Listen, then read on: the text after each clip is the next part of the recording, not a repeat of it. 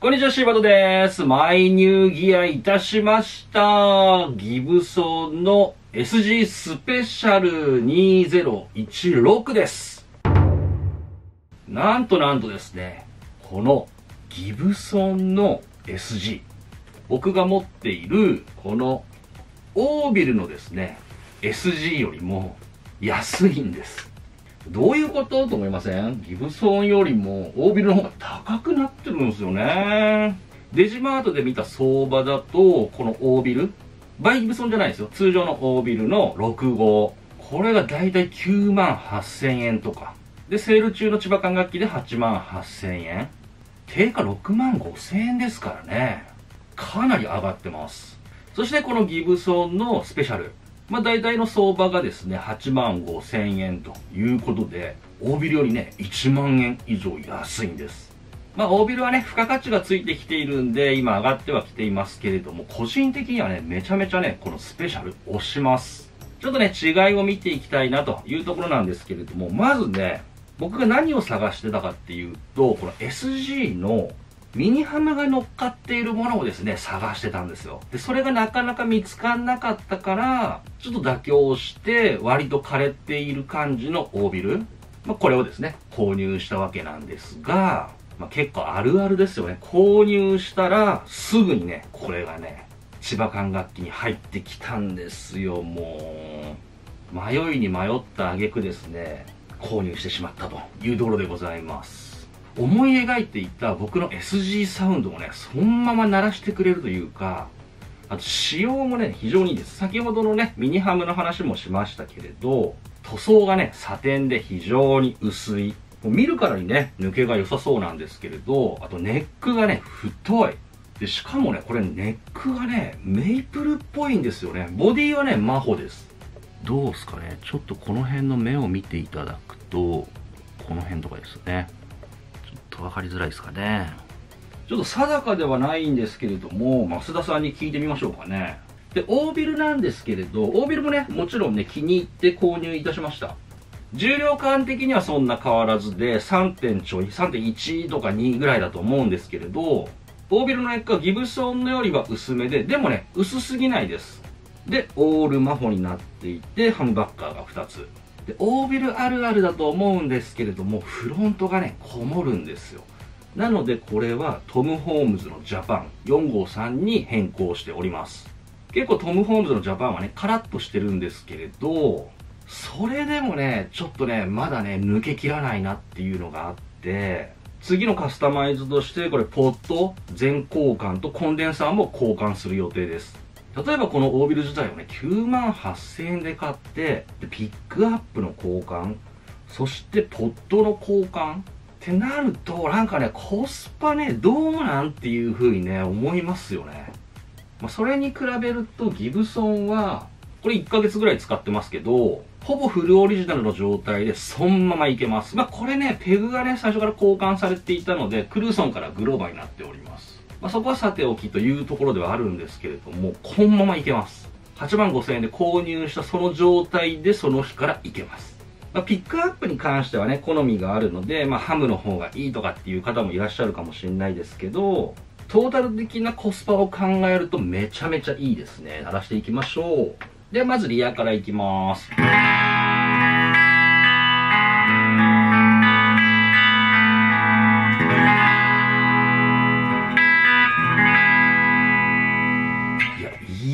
枯れ具合じゃないですか。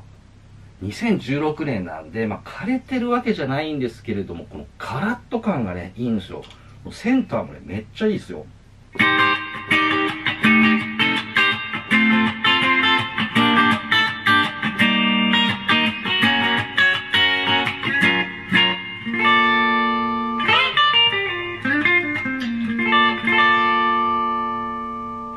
うん、フロント。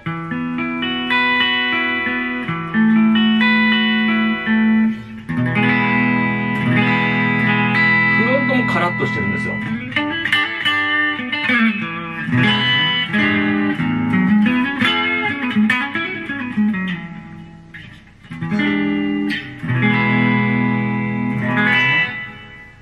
いいですね。このね、ミニハムと薄い塗装、そして太いネック。こっからね、なんか、これセンターですけど、膨らみもありつつ、カラッと。フロントも、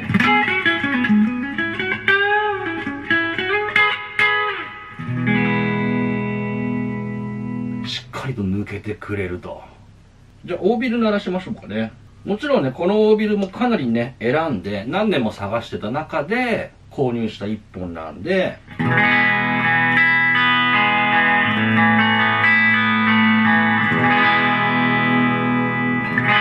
これビアです。オリジナルのピックアップになっております。よくないですか？で、センター。うん、これもいい感じですね。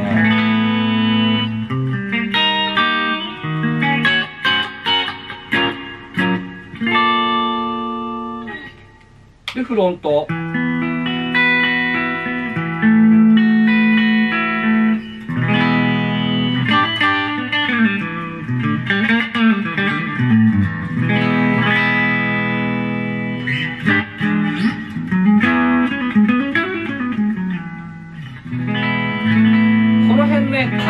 感じはいいんですけど、こ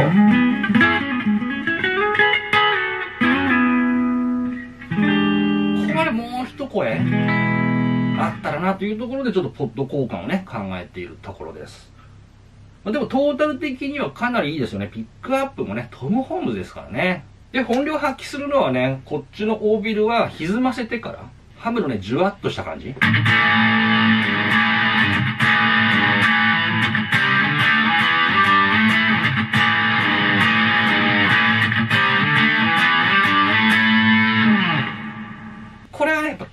いいっすね。で、続いてフロント。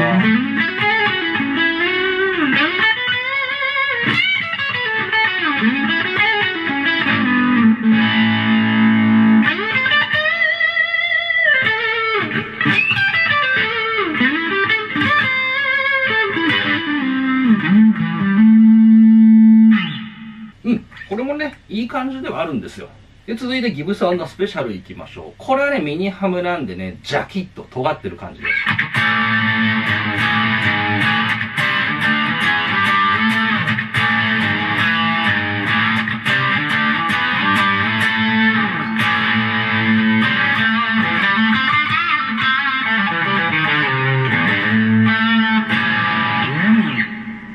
ちょっとオービルとはね、土俵が違う感じもするんですけれども、ドライブ感は抑えめになってトゲが出てくるというふうな感じですね。で続いてフロント。